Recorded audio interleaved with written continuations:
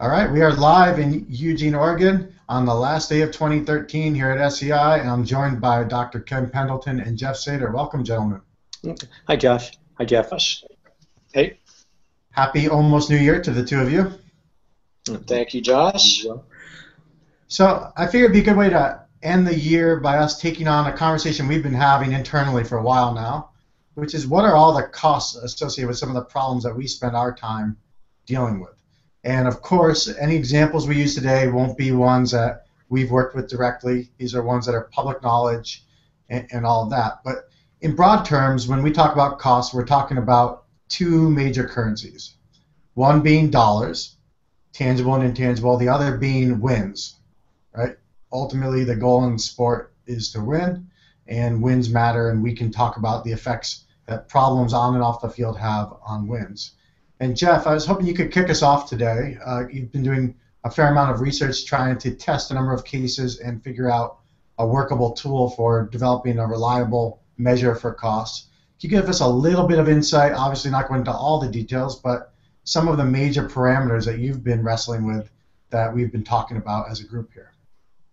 Sure, and uh, let me just say, when you and I first started this conversation, uh, I don't know, at least two or three months ago, um, I thought I thought that this would be a rather simple tool to work with. As it turns out, there's there's actually so much going on in here. Um, but at least I have narrowed it down some to where I think there are some specific impacts that are relevant for a lot of different sports issues um, uh, that, that you can look at and, and that can give you a good idea of um, the types of costs you're dealing with. Um, so I'm going to go over a few of those right now. Um, a typical cost uh, for one is staff. Um, in this model, so this could be extra staff time. This could be money spent because of uh, uh, resignations, cost of rehiring, cost of buying out contracts, and you're also looking at not only administrative staff but uh, coaching staff.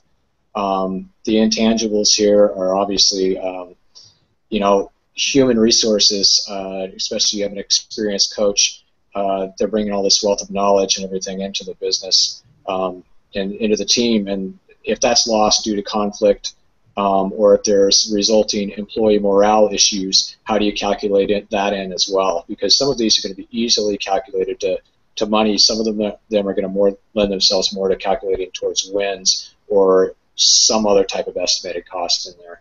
Um, next, you know, you obviously have athletes. Um, if you have uh, a lot of dollars in you know a pro in a pro player, and then all of a sudden you have a pro player who can't play because of suspension, suspension or injury, that's uh, money that's being wasted. Um, again, buying out of contracts, uh, loss of market value of an athlete. So then even uh, less, less, trading value in the future because of uh, certain conflict. Um, intangibles, you know, athlete morale, athlete performance um, on and off the field or court. Um, and when athletes' attentions are diverted to other matters, um, you know, what is it going to take away from wins? Are, are they going to be um, so distracted with other things going on that, that it's actually going to take away from their ability to focus on the game, which is what um, everybody wants them to be focused on.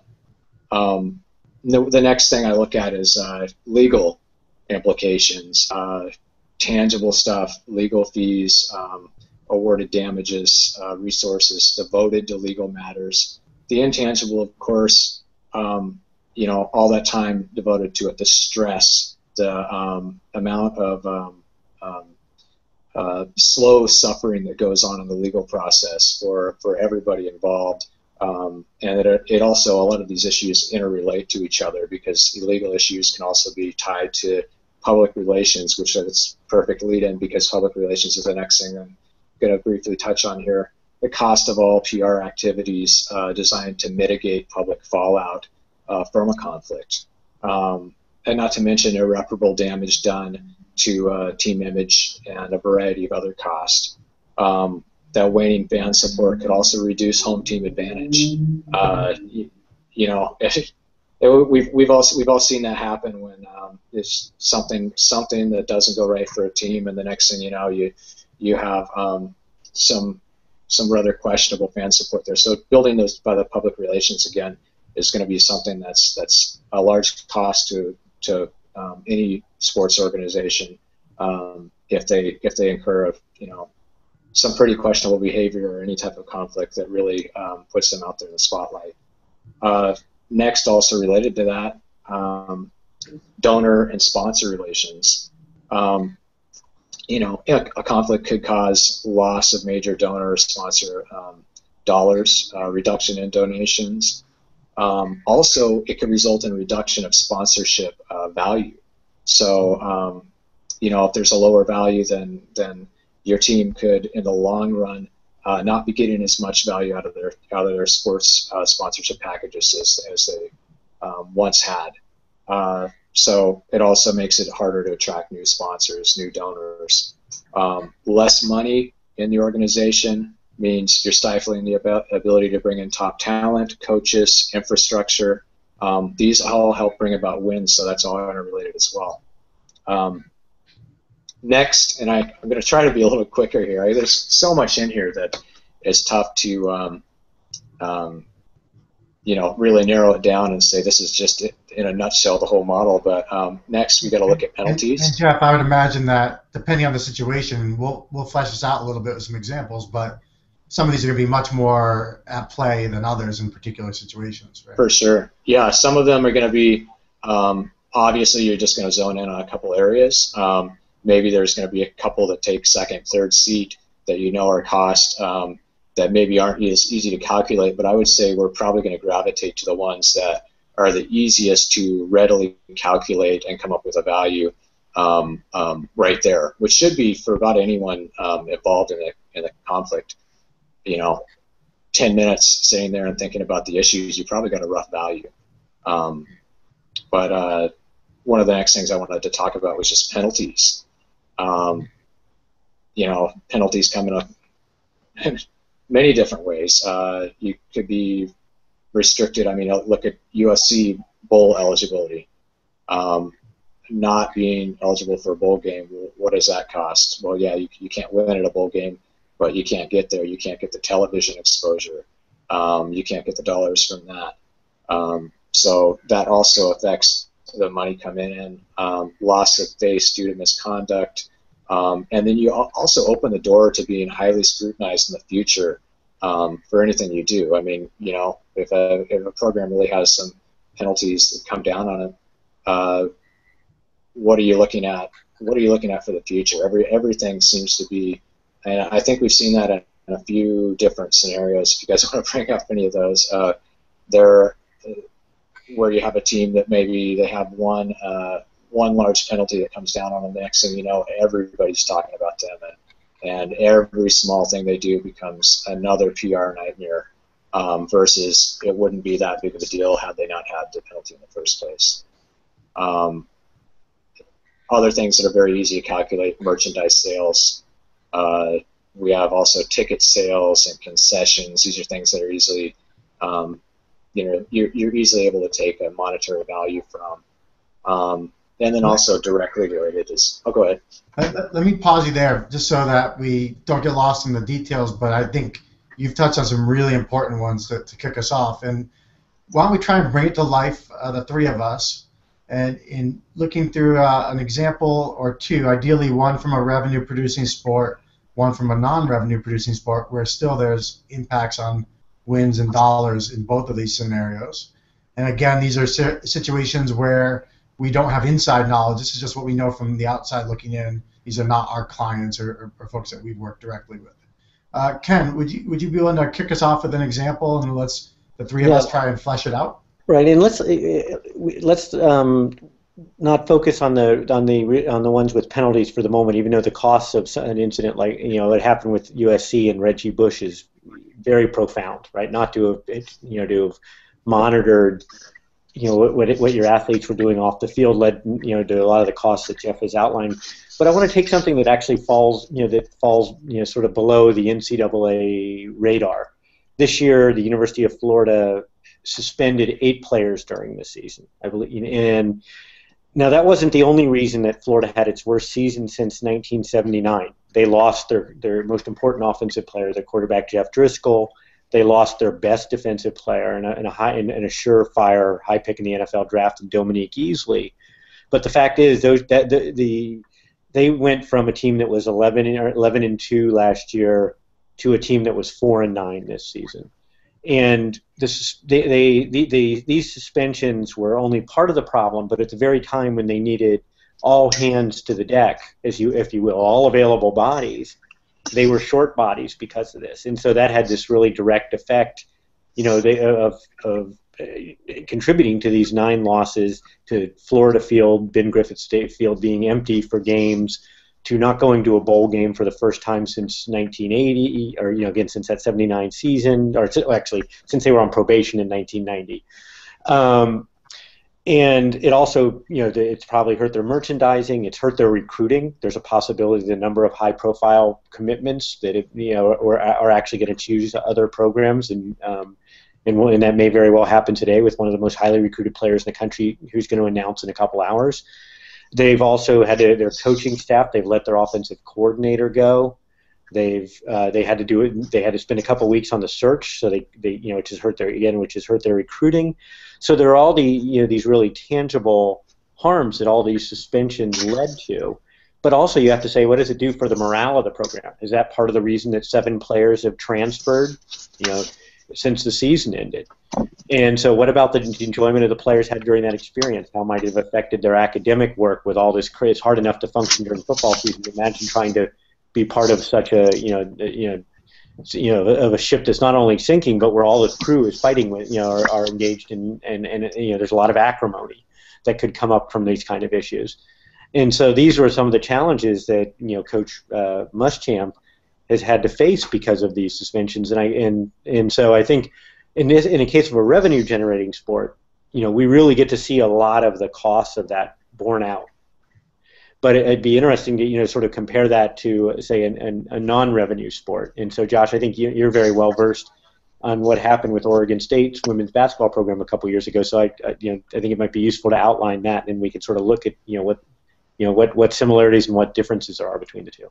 Yeah, so a, nice example, or not so nice example in, a lot of ways, was uh, Oregon State had a coach, LaVonda Wagner, who was highly touted uh, as being extremely skilled and knowledgeable in the sport, and was given a lot of leeway in, uh, to coach her team and, and do what she wanted, regardless of what was going on on or off the court. Um, and so, not a lot of insight was going on on the team during those years. And this happened a couple years ago where it finally came to light. What some of the allegations that led to her firing were that she had student athletes on diet pills, that she had them um, well exceeding the hours that were permissible for practice time, that she was verbally um, quite abusive to her athletes, often calling them fat and lazy, uh, swearing at them, um, somewhat physically abusive to them as well. And it really didn't come out until the point where this had gone down a road where each year their performance on the court got worse and worse, no matter who was being recruited. And and when it finally came to a head was when some of the student athletes essentially walked off of practice and refused to return to the point where she did not have enough athletes to field a team, and that's when administration got involved. And so here, not only do we see it uh, playing out at, at the moment of when the conflict really comes ahead, but you see all those lost years of development for the program and then the reputational issues of who who would send their daughter to this program anytime in the immediate future after that right? Of course you know some people if it's your only scholarship opportunity maybe it's something you consider. Maybe a new coach does restore some of that but but that that takes a lot of time. And and you think about those costs and i'd love to hear jeff work with us to flesh out some of those you know tangibles and intangibles. Certainly both of these examples uh, on the court and on the field, we saw huge performance declines from what their previous you know baseline was and what their talent level predicted they should be. And then the question becomes, what are all these other intangibles, brand and everything else, and, and dollars, and can we get even a broad stroke of how much this figure is we're talking about in either of these examples? Because if, if you get an order of magnitude of the money involved, and the impact, then I think it gives you a better sense of, of what you might be willing to invest to prevent some of these problems. So Jeff or Ken, do either of you want to try and flesh these examples out a little bit more from a a dollars and wins standpoint? Well, it's it's interesting. I'm looking at a couple different studies right right now that I pulled up before, and um, um, from looking at Ken's example, um, we have uh, television ex- appearances are positively related to contributions. So if you go have a team that goes from 11 and 2 to what 4 and 9 ken Mhm. um, then I, I, I gotta expect that their television um, appearances are, are not there for that 4 and 9 season uh, meaning number one well they're not getting television revenue but uh, secondly related to that is that um, it's been found from this study that uh, donor contributions uh, will be uh, less as well Right. Um, it's a little more subtle, and I, I, I want to um, than that because in this case, because they, well, they were that four and eight record because they didn't they didn't qualify for the postseason. Um, they, they're, Florida's on TV every week in some form, and furthermore, they share the SEC's television money, right? So they have some, you know, they have a kind of safety net built in. But what changes is where they appear. For example, by the end of the year, their games were only available on E ESPN3 unless you you know unless you lived in Florida or in the southeast, and, whereas as opposed to being on ESPN or ESPN2 or, or what have you, or in or on or, and they only appeared on CBS a couple times at the beginning of the season. And, and, and not, not at all after the Georgia game in early November, where if they have a successful season, they're going to get that kind of profile and that has myriad economic impacts on the you know in in in in terms of merchandise sales in terms of donors in terms of bowl revenue in terms of all sorts of things and then and then the other thing is, in the long run it, they have to now the challenge that coach muschamp has is he's now a lame duck coach because he, not, he, he's on the verge of being a lame duck coach because if he does not have a good season next season he's probably out. And that could very he's now got to worry about how do you recruit? When a recruit you can't guarantee a recruit you're going to be there more than one year right? So all of a sudden florida may find itself on a treadmill where they have they have a tough time actually getting the quality of athletes they're, that they need to compete at the level that they, their fans are addicted to them being at right and and so there's this you know there's this huge potential sort of domino effect that could come out of this. And you you may say, no, if it's Florida, they're one of the five biggest programs in the country. They'll turn it around. Well, George, I mean, uh, Tennessee, for example, has gone through coach after coach since Phil Fulmer left.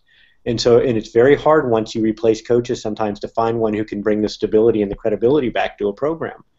And so they, you know, there are these. It's they they are in the SEC. They're in the wealthiest conference in America, and their and their revenue stream from TV isn't directly going to be impacted very much.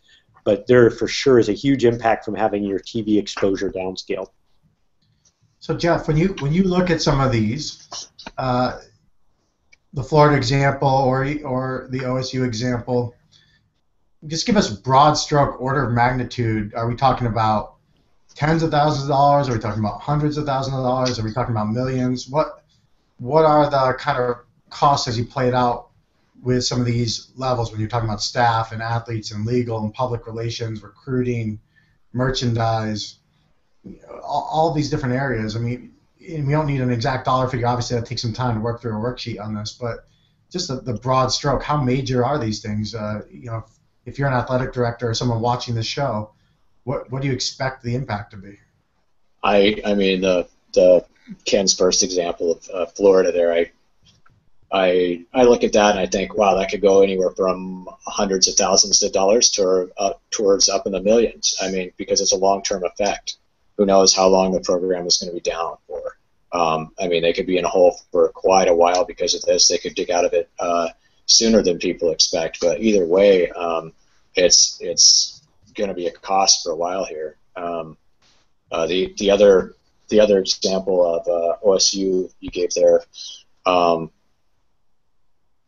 I, I, mean, again, you have a rebuilding process. Now, it's it's not like uh, that's not a revenue sport, really. So you're not looking at, um, I mean, reduction in ticket sales and stuff like that is a drop in the bucket, but um, all these other things that you're looking at are uh, are there potential legal costs coming as a, as a result. Right. Um, recruiting is stifled. Um, uh, gosh, I, I, mean the the PR impact um, that it's that it's had. I mean they're going to whoever um, you know comes in. They need to they need to somehow change their image uh, to get more recruits to come in, um, to get people to actually uh, uh, forget about it, and um, that can happen, but not without not without cost. So, and, and Ken might have some more to say about that specifically. Well, yeah, I was going to say in the case of a of a high level, you know, I'm going to, you know, pro, a revenue generating program, the cost could very easily go into the millions. For you know, just the most obvious example, if all of a sudden your coach has to be replaced, you you know that and you have to buy out his contract. That in of itself could be millions. You have to now pay someone at, at a you know maybe at a, at a, at a, at a, higher level to induce someone to come into your program and then you have to pay their their assistants, which is um, the coaches think about their do they have the budget for their assistants, and that may go you know you may have to all of a sudden do buyouts and and have to pay for new you know and pay the new assistants at the same time. In the case of something like Oregon State, I think one of the hidden the real hidden costs here is all of a sudden staff who may be primarily dedicated to dealing with the revenue sports like the athletic director all of a sudden he now has to or she has to spend time on a sport they may want to largely let let run of its own devices. And I, I'll tell you an anecdote, and I can't give you the specifics, but a friend of mine was an assistant soccer is an, it was an assistant soccer coach, and they had some NCAA fi- violations, and the assistant athletic director pulled him and the coach aside and said the two co- it had this really revealing comment. He said, "Don't you understand?" we're less concerned about whether you win than whether you embarrass us. And what he was, and so you know, the great advantage of being in the non-revenue sports, in a lot of instances, there's a lot less pressure for that bottom line of winning or generating revenue. But there's a tremendous cost to the university when you have a scandal that occurs, and that's what that that you know that assistant athletic director was saying to the you know the head coach of, of that soccer team. He was basically saying, "Look, you're going to be out, you know, we'll give you a lot of latitude and a lot of time for results. But we're not we have very little latitude for you causing us negative publicity because that's just not something we want to have to bear as an athletic department. and, so you know, I think that's a great illustration of how there's a crossover between those two different types of cases. And, and absolutely, when you if you spend any time with any of these athletic departments, you, you may from the outside looking in be impressed with the budgets, but if you spend time with them, you realize how thin they're already stretched when things are going great. Um, staff tend to work tremendous amounts of hours for actually relatively low pay compared to their counterparts. Now, it gets overshadowed by high-profile coaches, but put that aside for a moment. Um, and and so when they're working on crises or conflict or issues or problems or whatever you want to call them, they're spending time they don't have on these issues with whatever teams that are involved with it, and it's extremely laborious. So beyond the direct tangible costs, those intangible costs seem incredibly important. And, and if you're spending time on that, what aren't you spending time on? Right. Um, yes, I feel like we, we could really, you know, there's there's such a broad range of, of costs here, and I think those intangible ones, you know, do you want to work, and you know, what is it doing to your day to day, the quality of your day to day life, you know, the kind of kind of moment where you throw up your hands and go, who needs this? You know, why do you know? I thought I was getting in. Here's this, uh, you know, this world's the sports world that I joined because I love sports, and I'm spending all my time having to put out fires in areas about you know that were, weren't really primary to what I you know was interested in when I took this job, and so I sort of feel like I'm going to shift this a little bit now and say, so. How, what, how, what, you know, how do we think about this in terms of our, our idea? And it's, you know, we, we resolve conflicts when need be, but better still, we want to try to prevent them right? And I think that's you know, that's a theme I, I, I think is really worth trying to sort of you know emphasize and try to really point out to programs that there'd be a tremendous value in trying to think about what steps could you take to make sure to not have to suspend eight players or not have to have a you know an intervention you know after after players make serious allegations about a coach's misconduct. It, it's funny uh, a lot of times uh, athletic departments find it difficult to find budget for some of the things that seem trivial at the outset. You know, some of the alignment activities you can do around teams at the beginning, some of the postseason assessments you can do. It, it seems like extra cost. The, the, the irony of it is that when a problem happens, you have to find the budget to deal with investigations and legal teams and everything else that happens. And that cost is many, many, many orders of magnitude larger than the cost of the, the reasonable activities you can do to create structures and processes in place to really make sure that your department, your team is functioning in a very healthy way. And, and, and furthermore, uh, these things have real impact on helping you win at a higher rate and a higher level. And so, so really, the thing I would encourage uh, folks to do is make sure that they are investing up front because the cost of these type of activities, of, of bringing experts in or, or you know making sure your staff has a skill set to do this, create the proper alignment, create the checks and balances along the way, create insight with postseason assessments to be able to prevent these problems is so inexpensive compared to the cost of one issue. So you can prevent dozens of issues with doing this, or you wait till that one issue happens and you spend 10, 20 times more um, just resolving that issue, and it's quite unsatisfying to spend your time doing that. Yeah, I, I, I find myself thinking of that old adage: say you can pay us now or you can pay us more later. that, that the you know the, there's a relatively small cost that comes with actually preventing things, and there's a great cost that it's much greater cost if you wait until you have to actually put out that fire afterwards. Right. You could take any one area that Jeff highlighted for us today.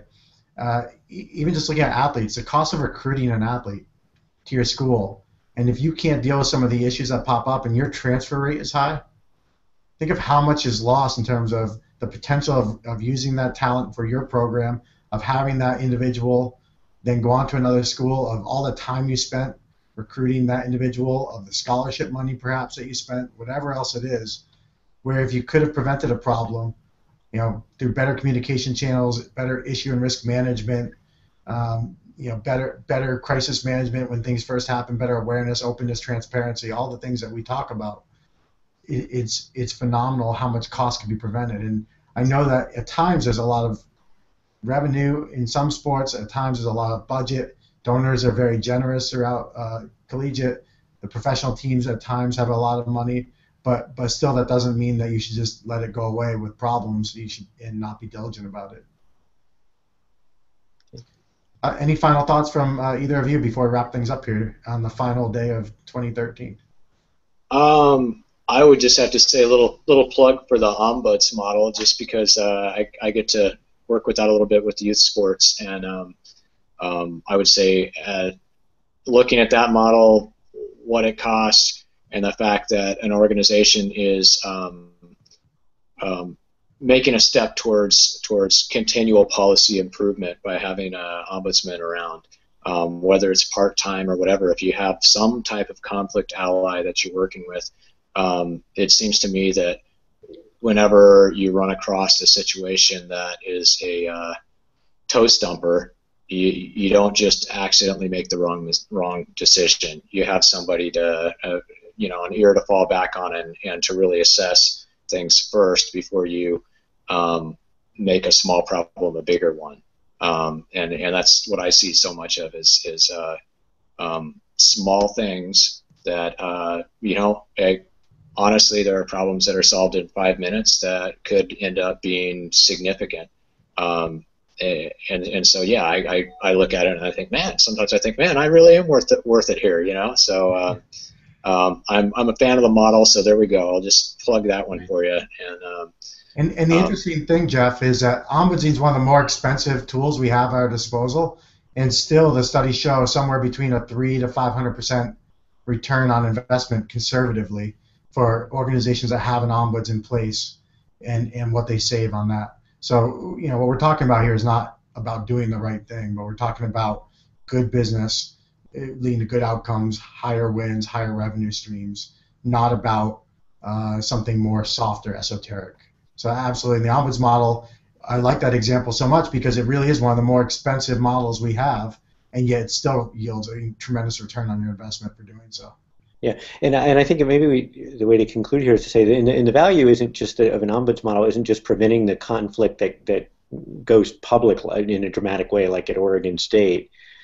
It could have all sorts of more subtle effects on say a team just you know winning two or, you know two or three more games a year because a conflict that could have risen to a higher level was actually addressed, and the two parties were able to find some meaningful common ground or have a, their dispute mediated in a way that was mutually satisfactory, and that led better that led to better playing performance and better you know and better coach player you know or better coach player relationship or better teammate relationships, right? And so the you know the the ombud in the ombuds model is is just one of many different types of tools that could be used to try to take on these problems you know in, in, in try to prevent them from arising or minimize their impact when they start to arise.